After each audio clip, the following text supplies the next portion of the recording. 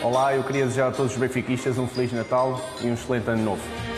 Desculpem, não resisti. Reparem que o Sporting está tão bem esta época, que o maior elogio que se pode fazer é que nem nos apercebemos que é Natal. Porque antigamente o Natal era tipo o boss final da época, né? já sabíamos que a época acabava ali. Eu agora só vou perceber que era Natal quando os adeptos começaram a cantar no estádio a todos um bom Natal. Eu digo-vos uma coisa, isto já não é o Sporting, era isso não. Eu estou habituado a que o Sporting seja um meme, a que as pessoas façam memes do Sporting, a que sejamos gozados, a que nós próprios saibamos que, não, isto está a correr bem, mas eventualmente vamos acabar, vamos acabar por cair, não é? Toda a gente sabe. Não, eu, neste momento eu já arrisco dizer que o Sporting pode ser bicampeão. Pá, eu não sei reagir a isto. E depois há este tweet do Alexandre Guerreiro, que melhora a cada jogo que passa. A única coisa que me satisfaz neste choque com a realidade em Alvalade é a lição para os golpistas, que alimentam uma basófia que fazia crer que ser campeão é suficiente, mesmo que o clube fique financeiramente hipotecado. Isto foi a seguir ao Sporting 1, Ajax 5. Escusado será dizer o abismo em que esta pessoa entrou desde aí até aqui. Então o quê? 12 vitórias consecutivas? Já? Bom, coisas importantes. Não se esqueçam, deixar like neste vídeo. E seguir nas redes sociais, Instagram e Twitter, porque eu aviso lá sempre que ponho vídeo novo. Para os benfiquistas que vêm aqui deixar dislike.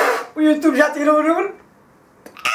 Estou a brincar, eu sei que há muitos benfiquistas e portistas também que me seguem, portanto próprios para eles. Mas bem, voltando ao tema principal do vídeo, porque eu só estou a fazer isto porque ganhámos 3-1 na luz. Porque se não tivéssemos ganho esse jogo, eu estava aqui caladinho que nem um rato. Já viram como é que as coisas mudam? Eu sou do tempo em que o Benfica ganhou 3-0 ao Barcelona e iam conquistar a galáxia. E o Sporting leva 5 do Ajax e vai descer de divisão. E agora o quê? Agora o Benfica só ganha contra 9 e o Sporting já está a arranjar espaço no Museu para o Penta. No fundo, o nosso percurso na Champions resume um bocado esta mudança de mood. Portanto, começou com aquela goleada em que fomos completamente humilhados e temos é que fechar o clube, não faz sentido E lá fomos melhorando até que, pronto, agora podemos assumir que somos o Bayern. Somos, oficialmente somos o Bayern de Portugal. Cenas, cenas importantes. Partimos para este derby sem o Coates e o Palhinha, que só por si era uma adversidade enorme, não é? Digam o que quiserem, que no Sporting interessa o coletivo e nas individualidades. É verdade, mas ir para um jogo sem Coates e Palhinha, ninguém estava 100% otimista para este jogo. Pá, é verdade. Se me pedirem para vos dizer quais são os três jogadores mais importantes do Sporting, se calhar eu diria Coates, Palhinha e Pedro Mitalves. Provavelmente esses três. Especialmente porque o nosso maior ponto forte é a solidez defensiva. O Sporting tem a linha defensiva muito bem trabalhada, o Ruben Amorim trabalha isso muito bem e esse é um dos fatores que nos permite marcar tão poucos gols, porque se repararem, a média de gols marcados do, do Amorim deste ano no Sporting é muito baixa, exceto com o Benfica, pelos vistos, não é? Por isso é que ganhamos muitos jogos só por 1 a 0 ou por, só por 1 de diferença, porque como sofremos muitos poucos gols, muitos poucos gols, também não precisamos marcar muitos para ganhar. E depois não só o problema do Palhinho e do Coadas, quer dizer, depois a meio do jogo, lesiona-se o Fedal também e tem que entrar o fucking Desgaio e é neste momento, quando temos uma defesa composta por Desgaio, Mateus Reis e Neto, que eu penso. Não, isto ainda vamos acabar com novos jogadores e dois guarda-redes em campo. Não, isto, se sairmos daqui com os três pontos,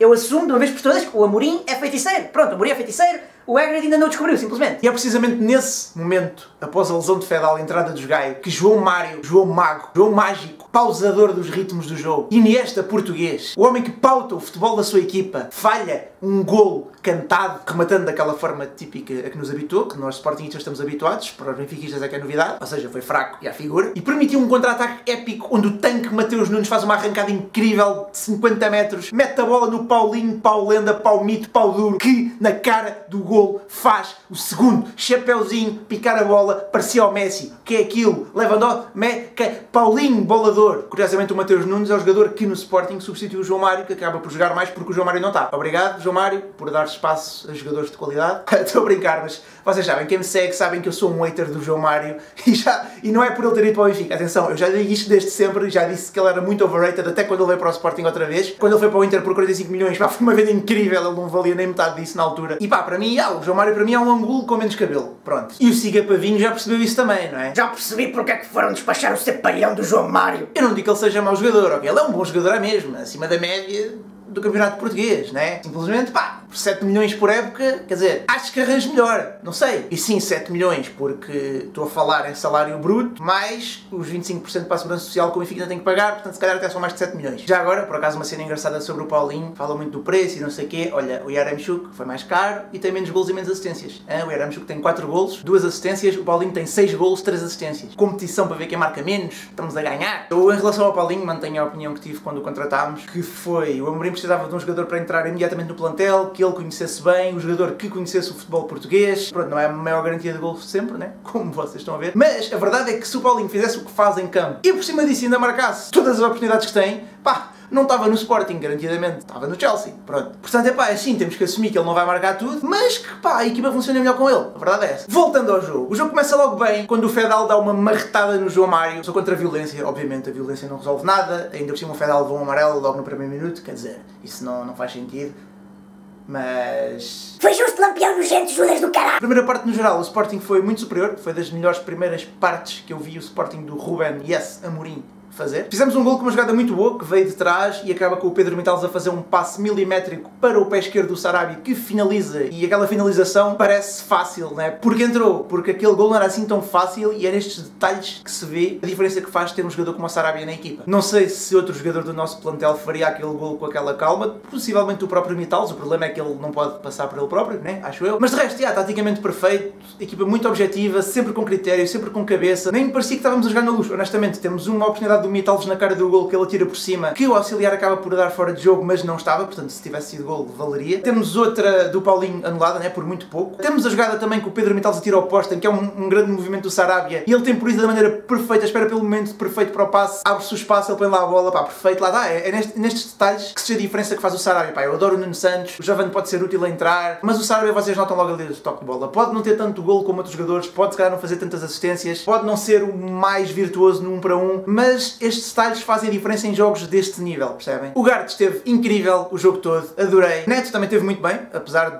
ser o Neto, já. O Neto é o nosso ex-diretor de comunicação que joga a bola também. Ex, porque o atual agora é o Rubén Amorim. E eu adoro este tipo de jogos grandes, de exigência grande, que dentro do campeonato português é a exigência máxima, né? Portanto, os dois jogos mais difíceis serão Uh, na luz contra o Benfica e em casa contra o Tondela. Reparem, este Sporting até o Tondela ganha, é Alvalade, o que é isto? O Sporting que eu conheço não ganha o Tondela. Mas yeah, acho que é nestes jogos em que os suplentes têm que entrar na equipa num ambiente de exigência máxima e correspondem desta forma, é neste tipo de jogos que se vê a verdadeira influência do, do Ruben Amorim no balneário. Porque para mim um treinador é 50% tática, 50% gestão de, gestão de grupo, gestão do balneário e pá, esses 50% de gestão de grupo o Amorim tem tudo. Ele confia em todos os jogadores por igual, mas não diz simplesmente que confia em todos os jogadores por igual. Ele mostra, ele demonstra isso aos jogadores através de atitudes, não é através do que diz na conferência de imprensa. É das decisões que toma em campo. É fazer entrar jogadores como o Essu, por exemplo, é em apostar no Nuno Mendes quando temos o Acunha e viram o resultado, né? ficámos com uma opção válida para a lateral esquerda a época toda e se calhar se não fosse isso não tínhamos sido campeões. É apostar no Inácio quando temos o Ilori, é apostar no Tiago Tomás quando temos o Sporar, é agora não ter tido medo de pôr o Ugarte em campo na luz. Eu sei que o Ugarte já se estreou, já teve minutos no campeonato, mas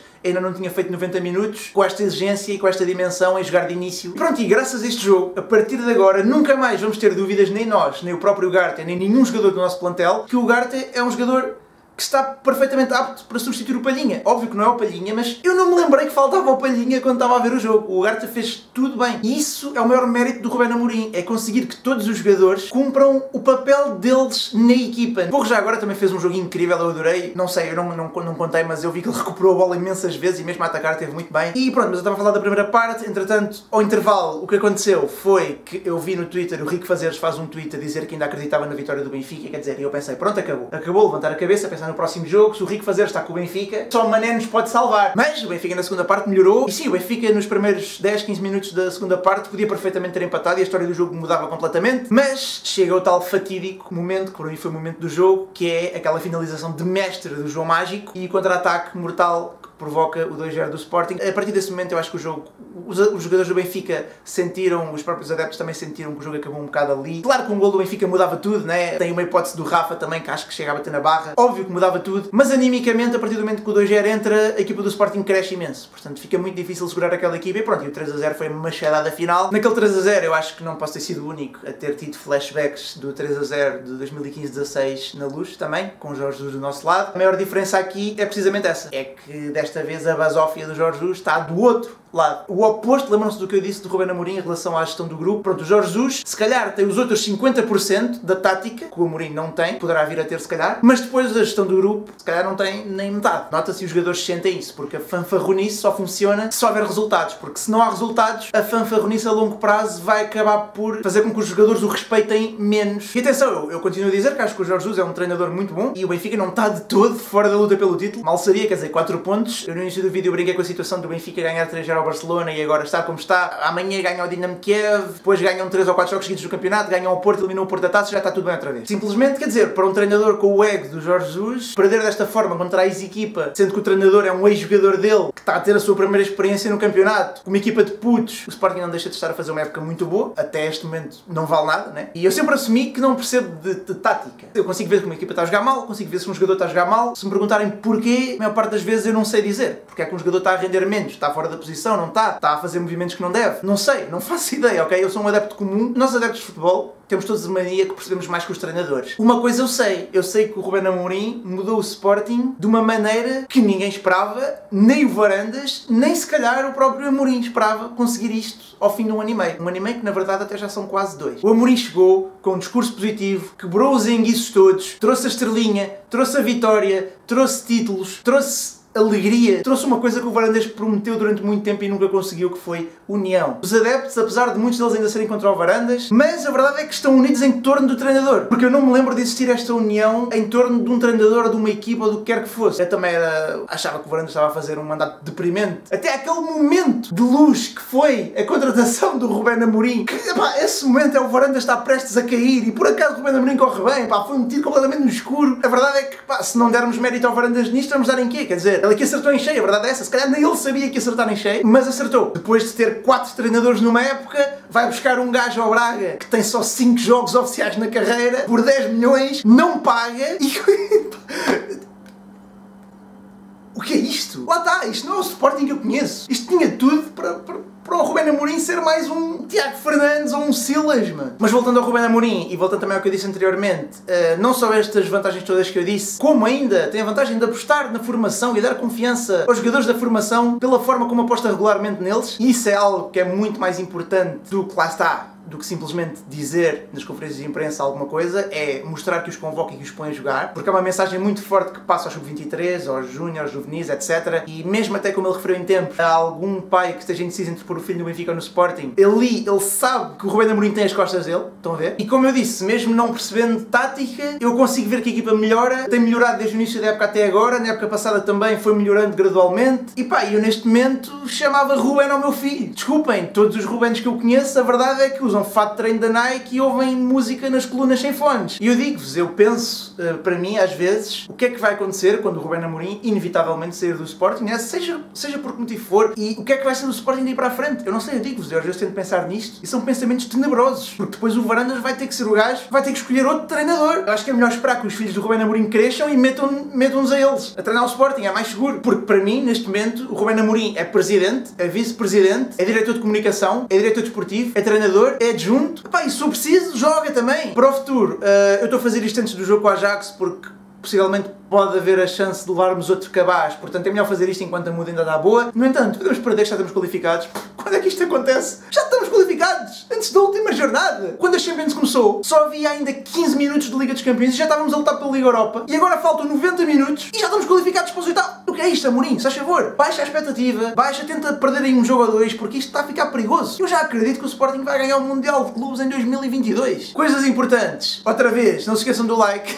Muito importante. E agora que eu vi que tenho estado a fazer este vídeo com a camisola completamente torta o tempo todo. O que é que. Ah, porquê? Comentem aí qual é a vossa opinião e mesmo o pessoal do Benfica, digam o que é que acharam do jogo, etc. Se acham que foi justo, se não foi. O que é que esperam para a época do Sporting? Isto agora mais pessoal do Sporting. Eu acho que estamos na luta pelo título, né? E acho que mesmo que o Sporting não seja campeão esta época, há claramente um projeto e há um rumo. Obviamente todos queremos ser campeões e é esse o objetivo. Sabemos que o Sporting não vai ser campeão nos próximos 10 anos, né? O que interessa é consolidar esta posição no topo, é consolidar a posição de candidato, em que não é candidato se calhar e se correr bem, é candidato ponto final, e principalmente assumir a nossa posição na Europa e estar mais vezes na Liga dos Campeões, qualificarmos-nos mais vezes para os oitavos de final, porque a verdade é que das as duas vezes em que tivemos no pote 1 ou 2 da Champions, qualificámos para os oitavos. Portanto, teoricamente, as duas únicas vezes em que tivemos responsabilidade teórica de nos qualificar, conseguimos. O problema é que se não formos campeões, no próximo sorteio voltamos para o pote 4 ou para o pote 3, portanto, outra vez o mesmo processo. Ou seja, vamos outra vez apanhar com duas equipas mais fortes que nós. Essa acho que é a maior prioridade a médio prazo, ou seja, esta época e das próximas duas e três, é conseguir estar sempre com presença constante na Liga dos Campeões e ele na luta pelo título. Isso a longo prazo vai fazer com que o Sporting seja uma equipa muito mais sólida, uma estrutura muito mais sólida,